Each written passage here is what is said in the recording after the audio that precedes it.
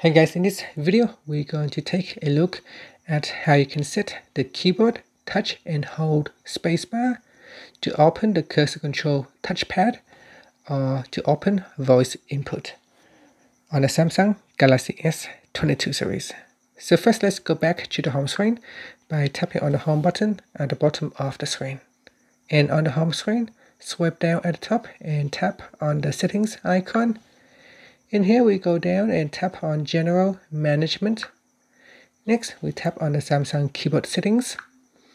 In here go down and then we're going to tap on Swipe, Touch and Feedback.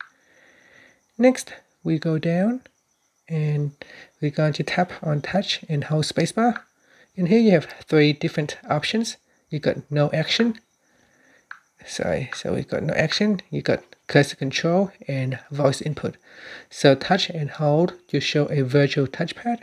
So if I choose cursor control and I go to my messages uh, app, in my messages app, you can see if I bring up my keyboard and if I touch and hold on the spacebar, I can now move my cursor to where I want it to in the text.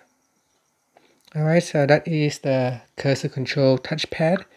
If you want, you can set it to open up voice input instead of the cursor control touchpad. Now again, I will bring up my keyboard. And this time, if I touch and hold on the spacebar, I will open up the voice input instead. And that's it. Thank you for watching this video.